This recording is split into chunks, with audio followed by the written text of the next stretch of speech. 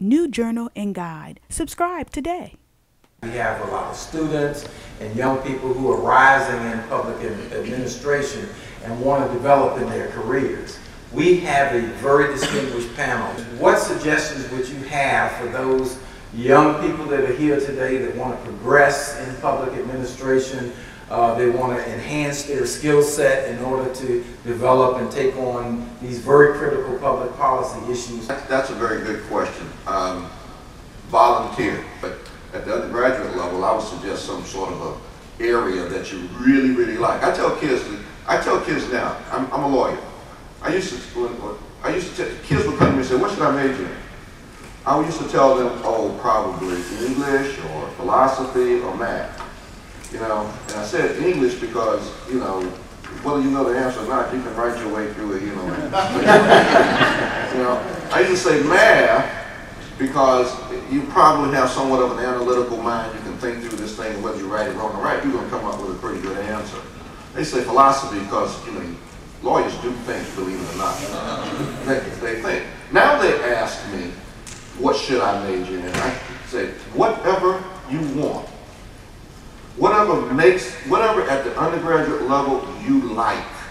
I don't care if it's music, I don't care if it's biology, I don't care what it is because the profession is so diverse now and it's so specialized that you need to have that background.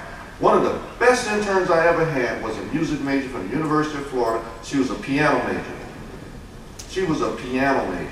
And she is, now she is, she's somewhere in New York as an entertainment lawyer because she understood that concept. And I tell kids that all the time. And I would say the same thing for public administration, quite frankly, because it's such a diverse area.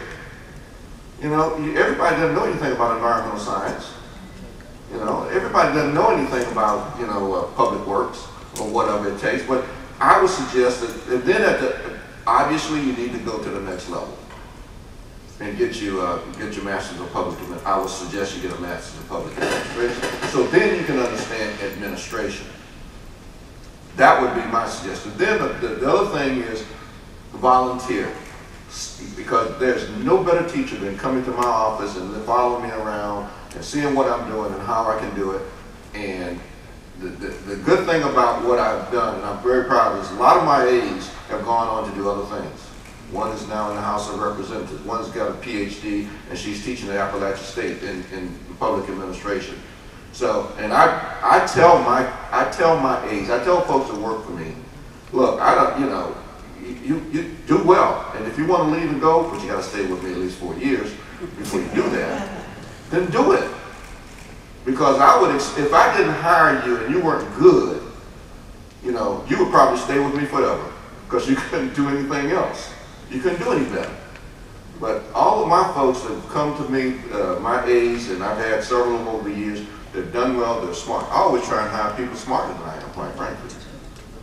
I really do, if they're smart. And if I can't handle them, then that's my problem. But I, I really try and hire those guys. So that would be my suggestion. Do whatever you want to do at the undergraduate level, feel good about it, make good grades, because right now, in order to get in graduate school, especially in law school, you better have good grades at the undergraduate level. I've had too many kids come to me and say, you know, I want to go to law school. I said, what's your GPA? They'll say it's about 2.9. I said, but they'll say, but in the last two years it was 3.7. I said, wait a minute. This is a four-year curriculum and not a two-year You know, they're not going to look at what you did in the last two years. So if you goof off those first two years and you don't get it, forget about it. Anyway, that would be my suggestion. This production has been brought to you by Image Entertainment.